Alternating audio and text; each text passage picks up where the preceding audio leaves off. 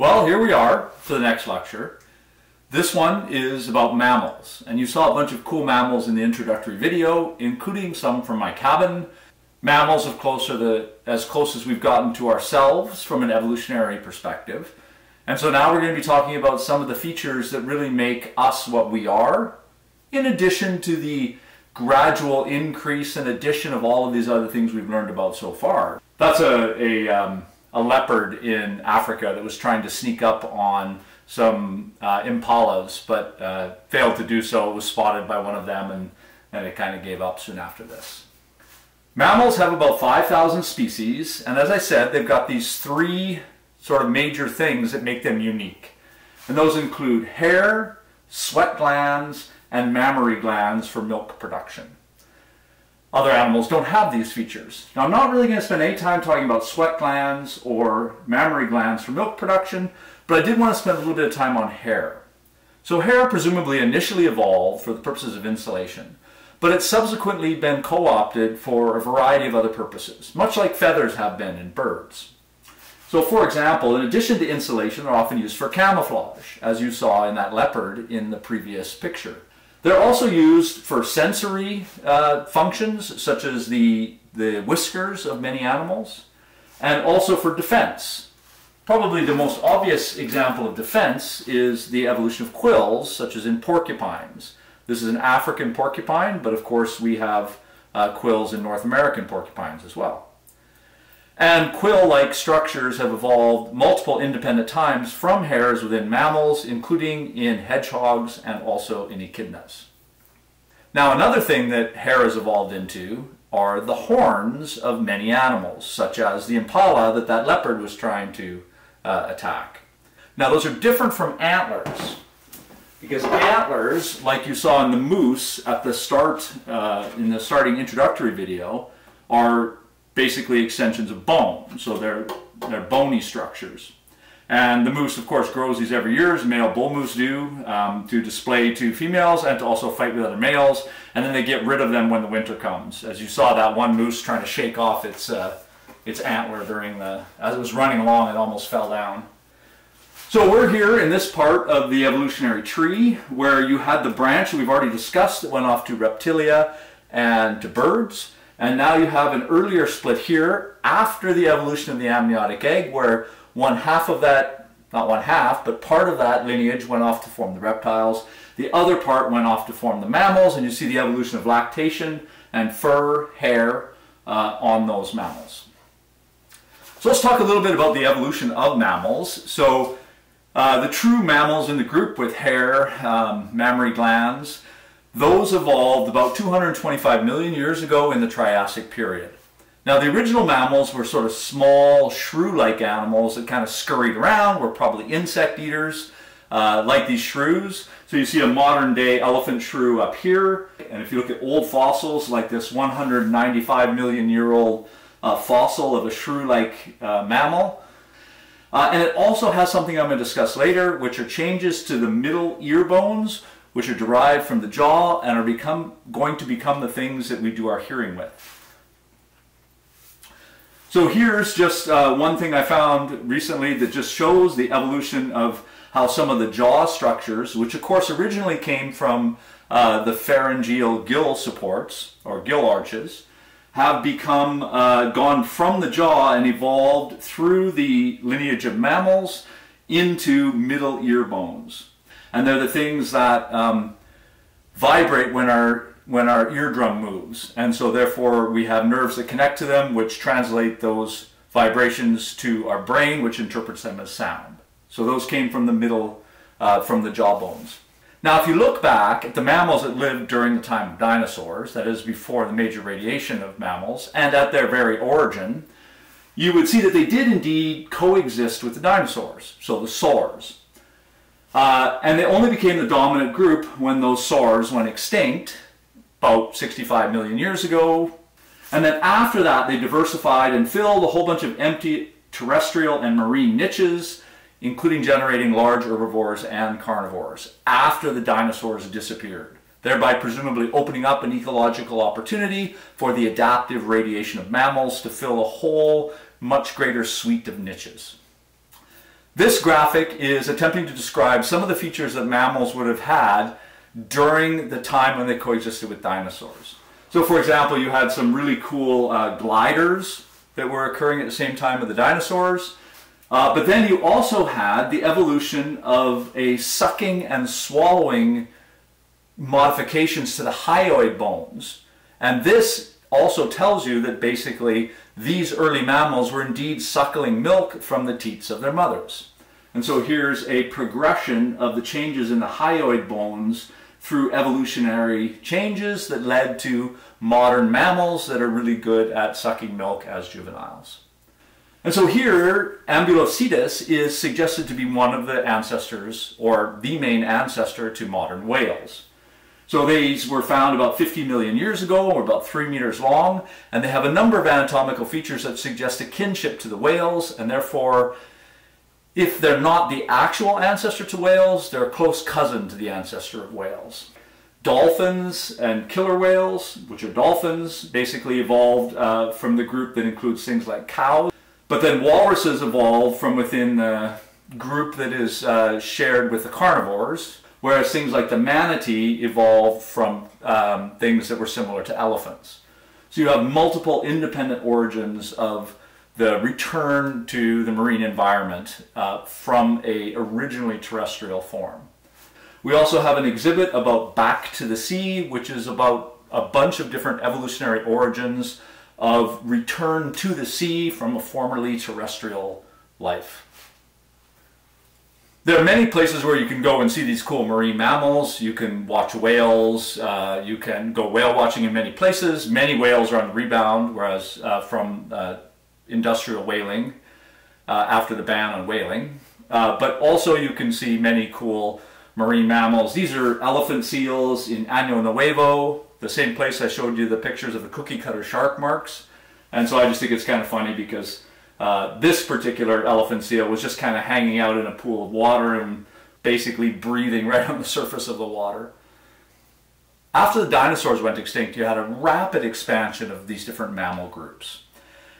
To the point that now, the time we're in now is kind of called the age of mammals. So basically from the extinction of the dinosaurs until the present time. And even if you go back just to the Pleistocene times, you had a whole bunch of mammal forms that were these incredible, weird diversification of all these massive mammals that we do not see today. So they're all extinct. We know a lot about this time period because there are a lot of really good fossils. And you also have collections of fossils from single places, such as uh, revealed by the La Brea tar pits in Los Angeles at the Page Museum. Los Angeles was originally basically a place for oil extraction because there's a lot of oil near the surface there. And if you look at old pictures of Los Angeles from 100 years ago, you just see these oil derricks completely covering the entire area where Los Angeles City is now. This tar was near the surface and it basically trapped a lot of animal, animals. So here are some um, mammoths here who have been stuck in the tar. This is a, obviously an exhibit outside the museum. I do have to say that this is the coolest thing in Los Angeles. So if you're ever in Los Angeles, make sure this is your top priority to go to the Page Museum and look at these exhibits.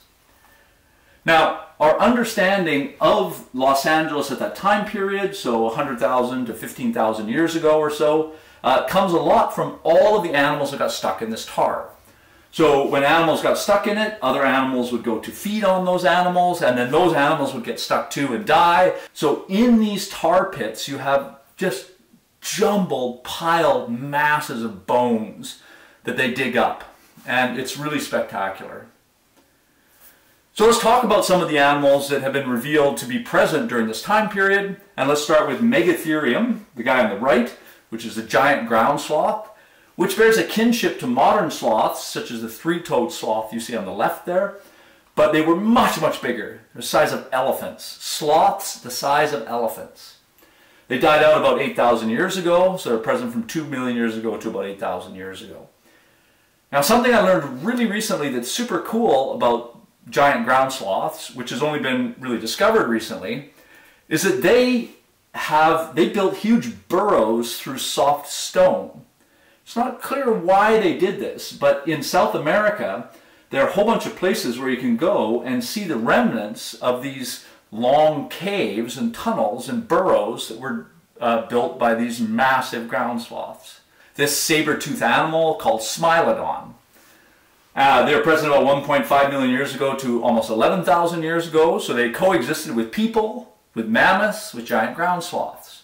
And they had these massive front teeth, which were probably used for uh, stabbing, for example, the throats of some of the animals. And they had, uh, those things were so long that in order to bite anything, they had to have an evolution of a wider opening jaw, because otherwise they couldn't get anything in their mouth. You had all these crazy, diverse, um, exceptional animals running around up to 11,000 years ago, or even later, 8,000 years ago. Where'd they all go? Why are they not here now? There's lots and lots of evidence that these large megafauna, which had evolved without humans present, really were incredibly susceptible to humans and the modern tools they've used for hunting, including things like the Clovis point uh, and other innovations that humans had when they came into North America, which essentially is thought to be one of the primary factors wiping out these uh, megafauna. A couple of times I've mentioned the Redpath Museum at McGill University where I have an office. Now the director of the Redpath Museum, Professor Hans Larsson, so he lives very close to me and I've decided to invite him over into my garage and he's going to give us a little description of mammal teeth and how they work based on a large collection of skulls which I happen to have here. So this is just a quick, heavily edited version of a really cool 20 minute piece that I suggest you check out on this YouTube channel here. Uh, it's really awesome, but not required for class. Hans Larsson, director of the Redpath Museum at McGill University. So the, the really cool thing with mammals is that we have super complex teeth. All the incisors, all the canines, all these premolars and molars, every tooth is, is, so, is so discrete. Um, and one of the key features of all mammals, if we go way back in time, like 250 million years ago, is that they have canines and canines are one of these key innovations. Like it's the it's the thing that got, that really kickstarted mammal evolution. So here here's the canines, and you can see the canine is sitting at the very front of this bone. This bone is called the maxilla, and here's the premaxillary bone. In the case of a deer and and a lot of a lot of like really advanced herbivores, they have no teeth even on the front of the jaw. So they have basically just a gum. So they have a gum on the front with these tiny little nipping teeth on the bottom that press up into that gum. And then when they when they get to the back of the jaw, they have these like really complex, um, scissored-like or very very very sort of tightly uh, seesawed um, teeth that just go crunch crunch crunch and pulverize um, plants. Here's a here's here's an animal that eats exclusively grass. Really really uh, dissected teeth, so incredibly complex teeth. And so as they're chewing, that sort of complex, um, sort of jaggedy edge tooth meets another jaggedy edge tooth and they just grind up and grind uh, their, their, their grasses. To, to, start with a carnivore, let's start with a wolverine, because this is the extreme. There's, there's nothing more carnivore than a wolverine, and, and I, going to explain why. This is more like the normal condition, where it's taken all its teeth and lined them up in a row. Here's a wolverine, it's actually taken that tooth and turned it sideways. And the, the adaptation for that is is partly for just crushing. This is where the lower jaw fits in. You can see this big sort of paddle of bone. This locks the jaw in. So this animal can bite down with tremendous force and never dislocate its jaw. Compare that to the cat skull. Here's where the, its little lower jaw fits in. It has a little paddle right there. And it bites down. It can it can sort of resist resist its jaw coming out. Bear it has a bit of a bit of a buttress here to stop that jaw from coming out, but the jaws come out no problem. And then compare this to something like a herbivore, and there's almost nothing holding that jaw in. You'll notice that when it's feeding, it moves its jaws side to side. Okay, if you think here, here the here the badger, the muscles grow up to about here, and then they, they don't get any bigger. Whereas in the in the wolverine, they grow up and get bigger and, and they're even leaving the skull. And the sagittal crest is a response to those muscles being so big. So the, these incisors are actually a bit sort of diamond shaped. So they have multiple cusps. So like extra cusps on the on the left and right, or the mesial and lateral uh, sides of, of the teeth. And this is meant to help it sort of like like pick food. Once it opens, you can see where the the canines come into effect. So the, these massive, uh, massive teeth. The average mammal is a rodent. Most, most, the first thing you'll notice, of course, are these enormous incisors. And these incisors have a color to them, right? So they have orange on the outside and white on the inside. And what they've done is they've put their enamel more on the outside of the tooth and it's more dentin on the inside of the tooth. So as it's growing, the teeth are just curving out and as they're chewing, that hard enamel wears less than the soft dentin. So these front teeth can actually chisel into the tooth and they're ever sharpening right, right, right through the whole diastema. And so this is one of the most extreme uh, forms of, of, of, sort of tooth heterodonty in mammals, where they have just a couple teeth on the front that are chisels, ever growing, and an, a battery of teeth on the back that all look the same, but but but but completely different from the chisel teeth on the front. These guys uh, have such different teeth than than any any mammal we've seen so far, and you can tell right away these teeth they're they're sort of like like leaf shaped, so multiple cusps uh, in a row, and this is a classic dentition for fish-eating mammals and fish-eating animals for that matter. And this is a vampire bat. And so right away you can see why they call it a vampire bat.